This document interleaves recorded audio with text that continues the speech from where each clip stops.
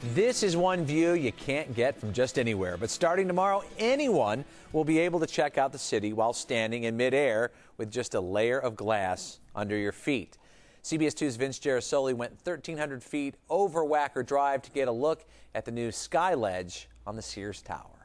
That'd be really scary if you really did stand like that. I would have a nightmare. But for the first visitors today, this was the stuff dreams are made of, peering down through a glass floor at the world 1,300 feet below. This side was selected because it's straight down. On the west side of the tower, the ledge is actually a series of three glass enclosed boxes that peek out just four feet from the building itself. It lets a reporter like me come face to face with Chopper 2 while his feet are planted firmly in the air, so to speak.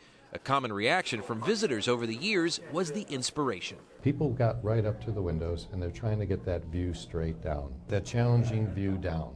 Because you can get out, but you couldn't get that vertigo shot. The ledge's designers say each window is an inch and a half thick. The technology used here has been around for a while, but never taken to these heights before. Three layers of glass are bonded together uh, so that it's more substantial. This whole glass box is suspended from above, uh, and there's a, there's a structural steel frame, uh, and all of these glass panels are hung from it. And that box can be moved on giant conveyor belts into and out of the building for cleaning.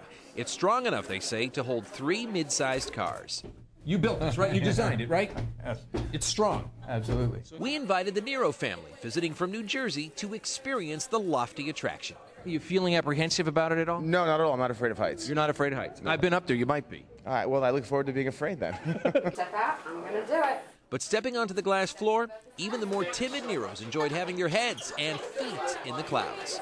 I was really nervous at first, but once I got up here, it was nice. And now, on a clear day, you can do more than see forever. You can check out if your ride's waiting 103 floors below.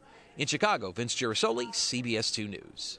Nice vantage point, no doubt. If you want to check out the ledge for yourself, it's included in the admission price to the Sears Tower Skydeck. It's $15 for adults, $11 for children 11 and under.